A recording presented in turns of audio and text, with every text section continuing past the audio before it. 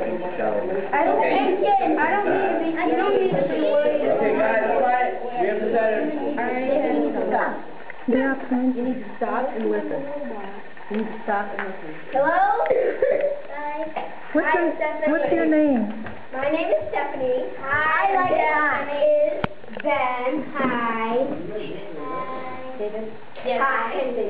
See you, Ben. We're going to present what we think we should have done the robot to do stuff with the access markers, the rig, the crash test dummy, and the crash test ground. For the access markers, we think we should have um, one here. These claws to knock it down, like attach to the robot, and you can just go ding, ding, ding. And we should have, well, what we, thought was at the end, if you might have, the, one of the options was that at the end, you might want to park on the bridge. And we decided that if you don't do that, you might be able to have uh, wheels that don't have as much traction, but do have, that have more speed.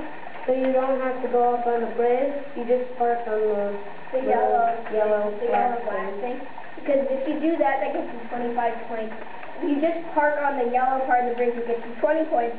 You park on the red part of it without touching the mat, it's also twenty-five points. But we figure if we just, um, go to parking the circle, it'll be easier and we'll still get twenty-five points. And it'll be Very good.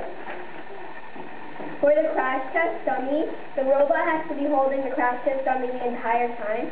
For that, we um we think we should make a box containing of something to contain it, where we can just put the crash test dummy in and the robot can carry him around the whole time. So Do you, do you design restraint system like, um, like a car seat belt or something like that?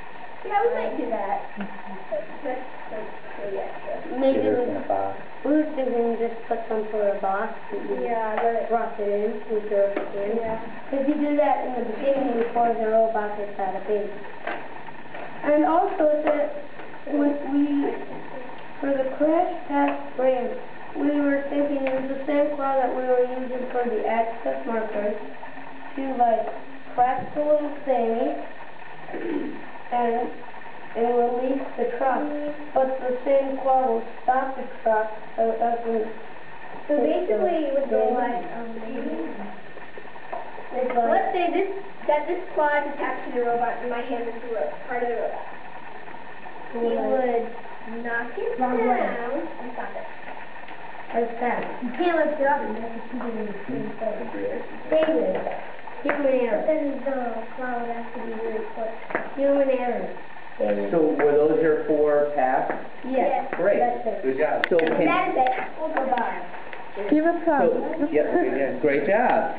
Everybody, team, right? You did a great job. Amen.